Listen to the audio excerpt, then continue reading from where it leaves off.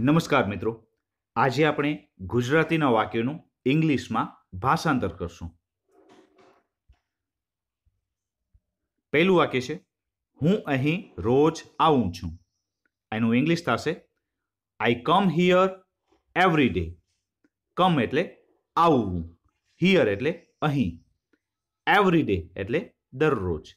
I come here every day હું અહીં દરરોજ આવું છું. મિત્રો, આ બધા જ વાક્યો છે એ સાદા વર્તમાન કાળમાં છે. અને સાદા વર્તમાન કાળમાં જ્યારે હકાર વાક્ય હોય અને વાક્યના કરતાં આઈ, યુ, વી અથવા દે હોય, ત્યારે એ કરતા પછી હંમેશા ક્રિયાપદનું મૂળ રૂપ મુકાય છે. અને જો વાક્યના કરતાં હી, સી અથવા ઇટ હોય, તો ક્રિયાપદના છેડે એસ અથવા ઈએસ મુકાય છે. જેમ કે અહીંયા પહેલું વાક્ય છે, I come here every day જેમાં વાક્યના કરતાં આઈ છે. અને જ્યારે વાક્યના કરતાં આઈ યુ વી અથવા દે હોય, ત્યારે ક્રિયાપદનું મૂળ રૂપ મુકાશે. આથી અહીં આઈ પછી કમ મુકાયું છે અને કમ એ ક્રિયાપદનું મૂળ રૂપ છે. બીજું વાક્ય છે, તું રોજ ચાલવા જાય છે. એનું ઇંગ્લિશ થશે you go for walk daily અહીં વાક્યના કરતાં યુ છે આથી યુ પછી ક્રિયાપદનું મૂળ રૂપ મુકાશે. ગો એ ક્રિયાપદનું મૂળ રૂપ છે. You go for walk daily. તું રોજ ચાલવા જાય છે. તે ઘણી રમતો રમે છે. He plays many games.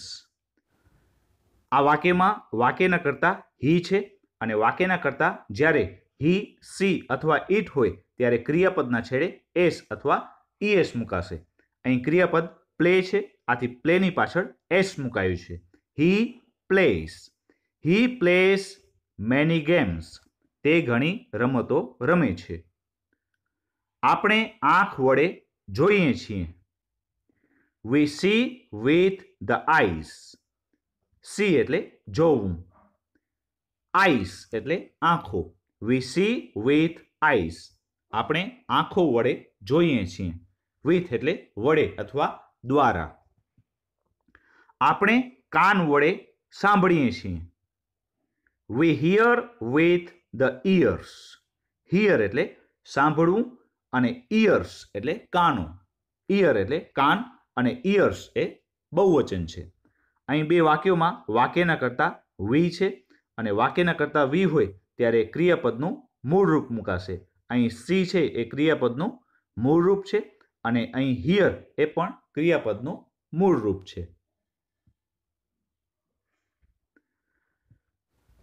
પછીનું વાક્ય છે, તમે તમારું કામ સારી રીતે કરો છો. You do your work well you do your work એટલે તમે તમારું કામ કરો છો. વેલ એટલે સારી રીતે. તેઓ સવારે વહેલા ઉઠે છે. They get up early in the morning they get up એટલે તેઓ ઉઠે છે. ગેટ અપ એટલે ઉઠવું. અર્લી એટલે વહેલું. ઇન ધ મોર્નિંગ એટલે સવારમાં. તેઓ સવારે વહેલા ઉઠે છે. They get up early in the morning પછીનું વાક્ય છે, અમારો નોકર અમારા કપડાં ધુએ છે. Our servant washes our clothes. Our servant એટલે અમારો નોકર. સર્વન્ટ એટલે નોકર.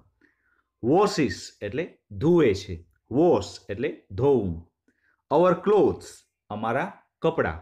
ક્લોથ્સ એટલે કપડાં. મરઘી ઈંડા મૂકે છે. અ હેન લેસ એગ્સ હેન એટલે મરઘી. લે એટલે મૂકવું એગ્સ એટલે ઈંડા. બાળકોને રમકડા ગમે છે. ચિલ્ડ્રન લાઈક ટોયસ ચિલ્ડ્રન એટલે બાળકો. લાઈક એટલે ગમવું. ટોયસ એટલે રમકડા. ચિલ્ડ્રન લાઈક ટોયસ બાળકોને રમકડા ગમે છે. સૂર્ય સવારે ઉગે છે. The sun rises in the morning sun એટલે સૂર્ય. રાઇઝિસ એટલે ઉગે છે. રાઇઝ એટલે ઉગવું. ઇન ધ મોર્નિંગ એટલે સવારે અથવા સવારના સમયમાં. The sun rises in the morning સૂર્ય સવારે ઉગે છે. સૂર્ય સાંજે અસ્ત પામે છે. The sun sets in the evening set એટલે આથમવું અથવા અસ્ત પામવું ઇન ધ ઇવનિંગ એટલે સાંજના સમયે. ઇવનિંગ એટલે સાંજ.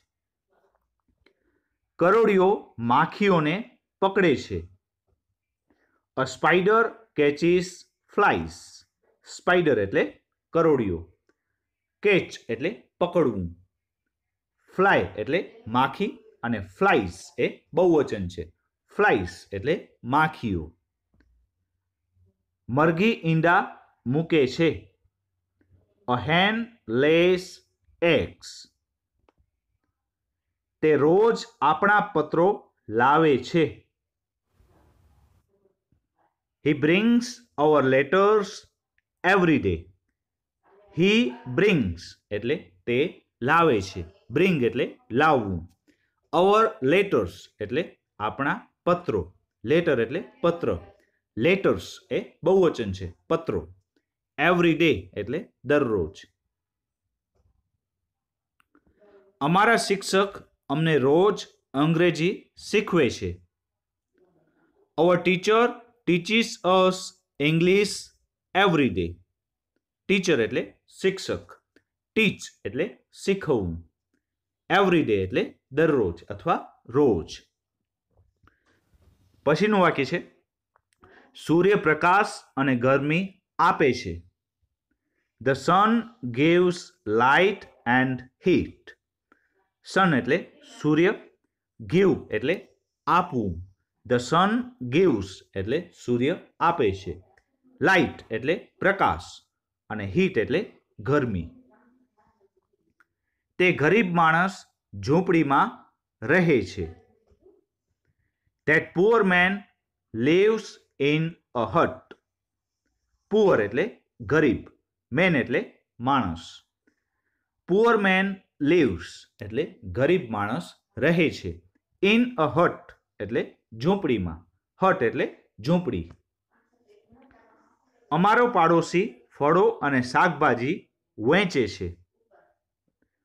Our neighbour sells fruits and vegetables our neighbour એટલે અમારો પાડોશી. નેબર એટલે પાડોશી. સેલ્સ એટલે વેચે છે. ફ્રૂટ્સ એન્ડ વેજીટેબલ્સ ફળો અને શાકભાજીઓ.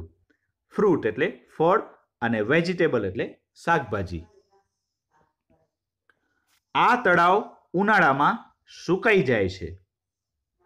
This pond dries up in summer this pond એટલે આ તળાવ. પોન્ડ એટલે તળાવ. ડ્રાઈસ અપ એટલે સુકાઈ જાય છે. ડ્રાઈસ અપ એનું મૂળ રૂપ થશે ડ્રાય અપ ડ્રાય અપ એટલે સુકાવું. ઇન સમર એટલે ઉનાળામાં. સમર એટલે ઉનાળાની ઋતુ. This pond dries up in summer આ તળાવ ઉનાળામાં સુકાઈ જાય છે.